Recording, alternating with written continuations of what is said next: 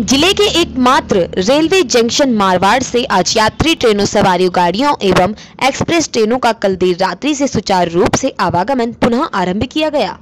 बीते कई दिनों से इन यात्री ट्रेनों का मार्ग बदल गए थे एवं अनेक ट्रेनों को डाइवर्ट किया गया था। गौरतलब रहे कि सेंदड़ा रेलवे स्टेशन से लगातार बांगड़ रेलवे स्टेशन के मध्य रेलवे कार्य दोहरीकरण, लाइन का कार्य सुचारू करने के लिए एवं लाइनों का कार्य पूर्ण करने के लिए इस रूट पर ट्रेनों का आवागमन बंद था, जो कल रात्रि से सुचारू रूप से पुनः आरंभ कर दिया गया।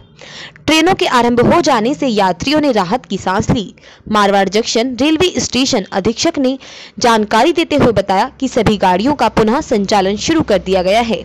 सभी ट्रेनों का आवागमन कल रात्रि से सुचारू रूप से चल रहा है।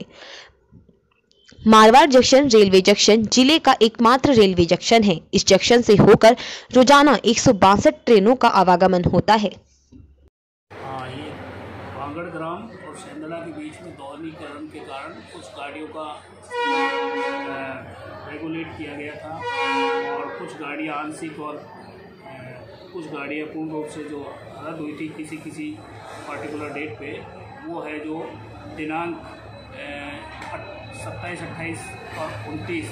उनतीस से कंटिन्यूशन समस्त गाड़ियाँ रेगुलर अपने समय अनुसार चल रही है और सारी गाड़ियाँ बिल्कुल व्यवस्थित चल रही है। सभी को, पैसेंजरों को बहुत ही मतलब इसकी हेल्प मिलेगी और बहुत ही सारा सुचारू रूप से